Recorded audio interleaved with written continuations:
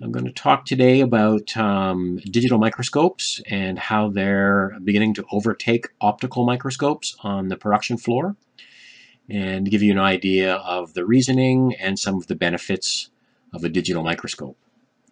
Um, here is a typical digital microscope, obviously a stand, a boom, and the camera out here on the end.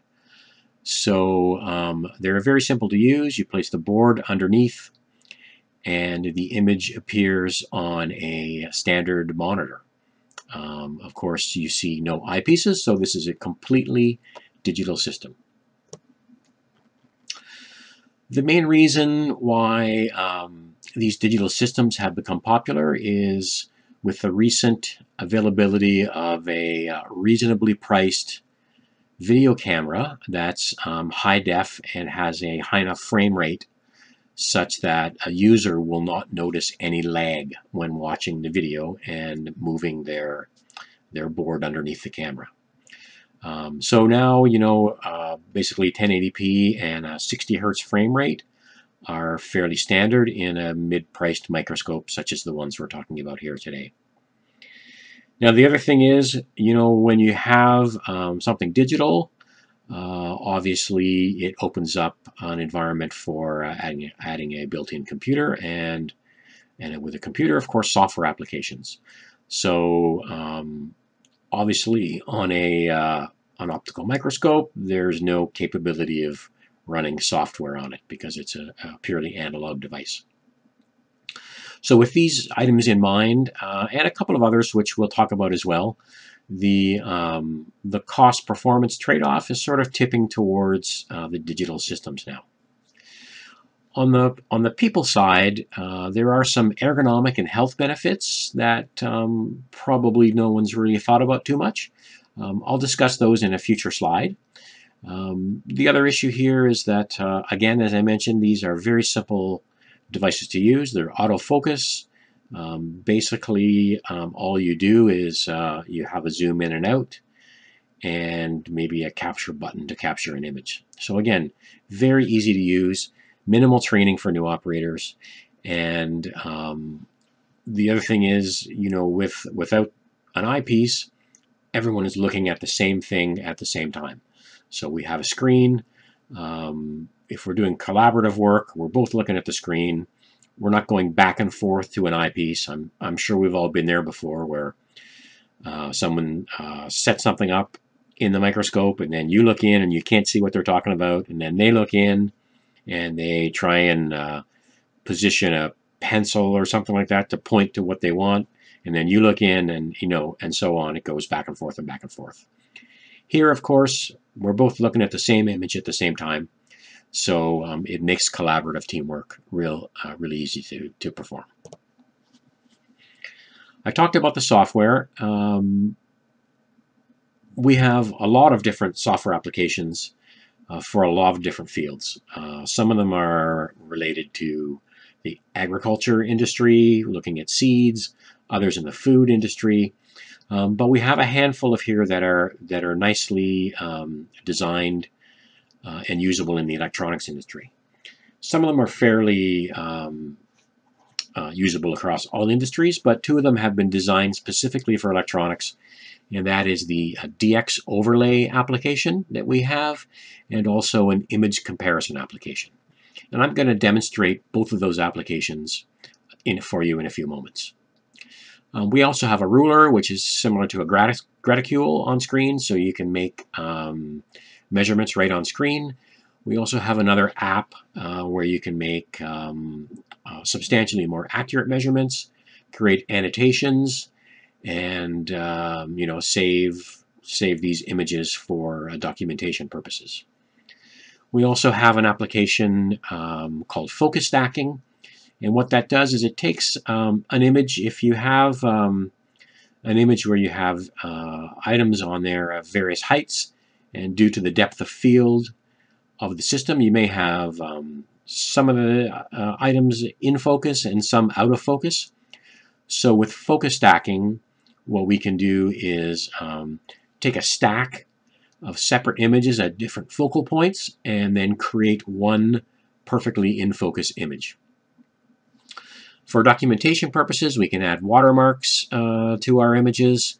And uh, we have another app that is um, sometimes kind of interesting, uh, where we can uh, draw some verification lines, uh, have them on the screen superimposed over the live image.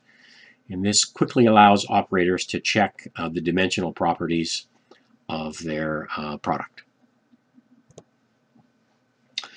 Now we talked about the ergo health benefits and um, what we found through various studies is that uh, you know when an operator is hunched over an optical microscope for an entire shift um, they oftentimes get a lot of uh, neck and shoulder pain and um, eye strain obviously particularly you know most likely if they wear um, glasses in the first place. So of course you know we have no um, eyepieces here so we're just looking at a computer screen um, so the the person can be positioned in an ergonomic position and eliminate those strains the other uh, item that's come to light most recently with COVID is that um, eyepieces are actually quite um, unhygienic. So if you have a bunch of people um, all putting their eyes on an eyepiece, you know it's not um, it's not an ideal situation in this in this uh, in this uh, COVID era. Um, obviously, we have some benefits uh, related to these things, and um, you know it, it, just adds all adds up uh, in um, making the digital decision a lot easier. We saw a picture of this particular microscope on the first screen. Um, with its uh, adjustable height stand, it uh, really allows us to make use of a variety of different lens and lighting options here. So um, it allows us to go everything from you know a macro lens up to uh, in the range of five or 600x on magnification. So this system is um, mostly used in the lab or for uh, quality investigations. We have another microscope here. There's the camera, and this is on um, an arm, an adjustable arm. Uh, you can mount it on a bench and use it that way, but oftentimes we see this on the production floor, mounted over the top of uh, a conveyor. So uh, the operator can stop stop the board right on the SMT line, uh, use the microscope, move it around, look at various different sections, and then either pass or fail uh, as you go. Uh, then this system here, you see this is on a fixed height stand, and there's the camera out here on the end. So this system is designed for general inspection, where basically you can just walk up, put the board down here, and uh, do your inspection. It's a very, very simple, very easy to use system. Now I'm going to switch over and, uh, and do a demo. So um, we'll switch my video.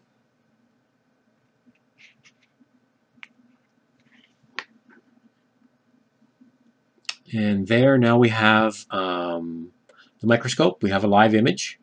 Uh, I know we talked about zero lag. It's certainly zero lag here. I don't know how it's turning out at the end of uh, at the end of the internet on your desk there. But um, so here we have a board, uh, and we can adjust it here, obviously manually. Here's the zoom. I can zoom in with this lens. I can zoom into about 40x, um, and we can move around. And one thing I'm fascinated to see on this board are these three inductors here. You can see one with uh, with two turns, one with three turns, and one with four turns. So kind of an interesting, uh, interesting part. Anyways, what I'm going to show you on this uh, section of circuitry here is uh, the image compare application. So uh, let me get that rolling. I'll run that app and you see a little um, screen opens up at the top. So what we'll do here is um, we have templates that we can load. So if you're doing this in production environment, what you would do is you would save your golden board as a template, and then you just recall the template and then put your sample board under and, and perform the, uh, the comparison. Um, but for today, I'm going to actually create a template, and I'll show you how that uh, how that's done. So we basically work our way across here. So we capture our reference image, and um, when we put our sample board in, it's going to auto-align them, so we need to enter some uh, fiducial points here. So I'll just pick a couple of points. You just drag these guys over. Um, somewhere around opposite corners. I'm not going to be too accurate here, but uh, will be, you know, not too bad.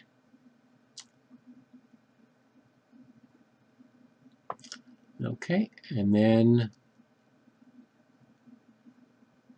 what it will do is it will create the template and now it'll create a live view with my uh, template uh, in the background. So I'm going to remove the board and now we're seeing uh, the pad that I have underneath uh, superimposed under the board. So here's my um, my sample board.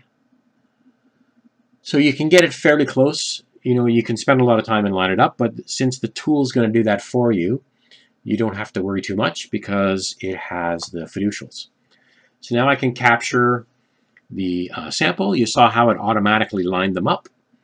And then I can come across here and I can toggle these two images. So that's a toggle between my, my golden board and now my sample board. So the nice thing about the toggle is that the eye is very quickly drawn to any changes. Um, so here you can see that um, there are very few changes. Uh, perhaps one noticeable exception, you may have noticed there's a uh, missing component um, at the top and some others are just uh, some sh parts shifted around and looks like a change in a date code on that max part there. So, um, so that gives you an idea of how this product works. We also have a split screen where we can show both at the same time or slide one back uh, across the other um, as well. So I'm going to close that off.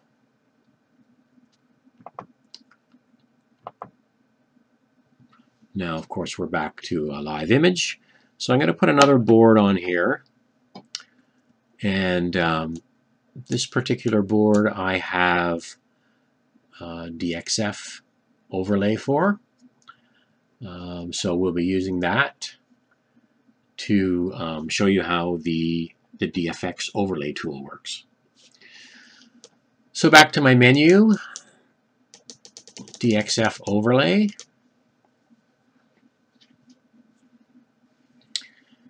Now I have um, a variety of overlays saved. Basically, they're loaded on the microscope. And uh, this is the one for this particular board. So that brings it in. Well, I can move this out of the way. You can see the overlay there. Um, we have uh, a little option here to enhance the contrast on the overlay. And then we have um, an option to center the search result. So I'll turn that on as well. so now I can, what I do is I put my board on there and I just manually line them up. It's basically as simple as that. Um, so that's it, they're lined up. Now this scales with the zoom, so if I zoom in or out, the overlay scales with it. And uh, now over here I can enter in you know, what I'm looking for. Uh, so let's say we want to find um, C116. And I'll say find. Now, um, since I've clicked on uh, center the search, you'll see what it's done. It's highlighted C116. Um, it's moved it to the center of the screen. And um, now what I'm to do is move my board with it, uh, and then I can find it on the board. Now if I need to examine that part, I can zoom in, and you can turn off the overlay. You can see there's a hide overlay option, or you can simply move it to the side, examine your part.